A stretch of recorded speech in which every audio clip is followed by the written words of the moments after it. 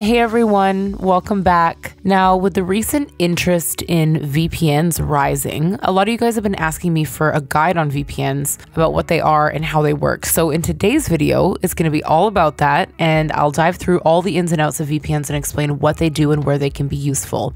I'll also give you my top three VPN picks a little later on in the video in case you want some recommendations and go over what they have to offer in terms of features and budget so that you can pick the one that works best for you. And of course, if you're interested in checking out these VPNs I'm going to mention and want to know more about them, you'll find links to pricing and discounts as well as in depth reviews in the description down below. All right, so what exactly is a VPN? Well, a VPN or virtual private network is basically a tool that helps you keep your online activities private by acting like a secret tunnel on the internet.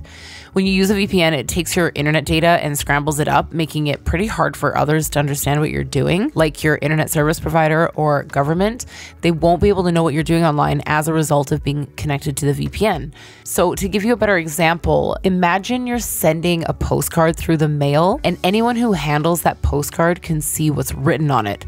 That's what it's like being online without a VPN on. Now, if you put that postcard in a locked box, only you and the person with the key can see the message, and that's exactly what a VPN does for your internet data. Only you and the receiver can clearly see your data, but everyone else in the process just sees incoherent jumbles of data. A VPN also makes it seem like you're using the internet from somewhere else. Like, say you're in New York and you connect to a VPN server in New Jersey, for example. To websites, it looks like you're browsing from New Jersey, not New York. And this helps you stay private online. It can also help you see websites or watch videos that aren't available in your home country. So, the best example here would be streaming services like Netflix, which have different libraries based on your location.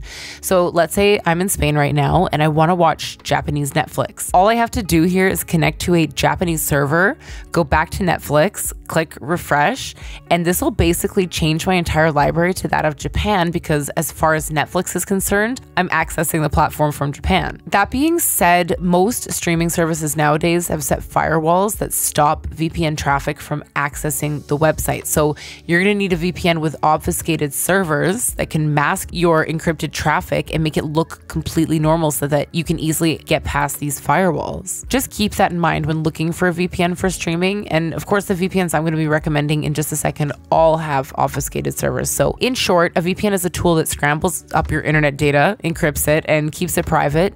As well, it makes it look like you're browsing the internet from a different place. So, between your device and the internet, your data passes through your internet service provider, and anyone else snooping on your network can see what you're doing online essentially. And whatever you do on the internet can be linked back to your IP address. Whereas when you're using a VPN, your IP address will be completely hidden, and the IP address that you'll be using is going to be the IP address that belongs to the VPN server. So if I go to whatismyipaddress.com or whatever IP finder you want to use, you'll notice that it'll say I'm in Japan because we connected to that earlier and not my real location. All right, so now that you know what a VPN does, it really depends on what you're looking for as far as which VPN to get. Out of all the VPNs I've tested so far, I found ExpressVPN, NordVPN, and Surfshark to be the best and consistently at that. I mean, all three of these have lightning fast speeds. They have audited no logs policies, which is something I'll get to in a bit. They have plenty of obfuscated servers and all the necessary security features, such as the kill switch. But of course, they vary in what they offer in terms of budget and bonus features. So let me briefly talk about each so that you can pick the VPN that works best for you. So, starting with ExpressVPN, this is going to be the best performing, easiest to use, and most secure VPN on this list. It has the most verified no logs policies due to an incident back in 2017 where the Turkish government actually seized one of their servers as part of an investigation, but they found nothing on that server. Express is also the fastest when it comes to connecting and disconnecting from servers. And other VPNs, maybe they'll take several seconds longer, but Express does it in like a second. So, personally speaking, I love how responsive that is. And that's why Express is my personal go to. But, you know, it just feels like it's part of your computer rather than a third party application. Now, as far as servers go, Express has over 3,000 servers in 105 countries. So, that's an amazing amount of locations to access global content. Besides that, that, Express is the overall best choice, I think, if you're looking for an easy to use, like plug and play VPN, because it stays away from the more advanced settings that don't interest most beginner and intermediate users. Like you just open the app, connect to a server, and that's it. Now, this does mean that it doesn't have a lot of bonus features like specialty servers and meshnet, but it does have all the essentials like a kill switch and plenty of servers that are optimized for all uses instead of specialty servers. It also has split tunneling and top line protocols. And very recently, actually, ExpressVPN launched their Identity Defender, which tracks your ID and social security number for fraud, and then they help guide you through the next steps if there are any. And they also help in case of identity theft and have a data removal service where they can wipe out your information from any people search websites or data broker databases. Keep in mind though that this feature has just been rolled out for US users, but they do plan on expanding it to more countries and users. So overall, Express is a high performance VPN with a strong emphasis on security as well as ease of use. And I would especially recommend it if you're a privacy conscious individual. All right, so next up we have NordVPN, which is going to be the fastest, most valuable VPN on this list. When it comes to speed, Nord is the fastest out of the three VPNs thanks to its NordLynx protocol, which makes it a very good option for streaming, gaming, and torrenting.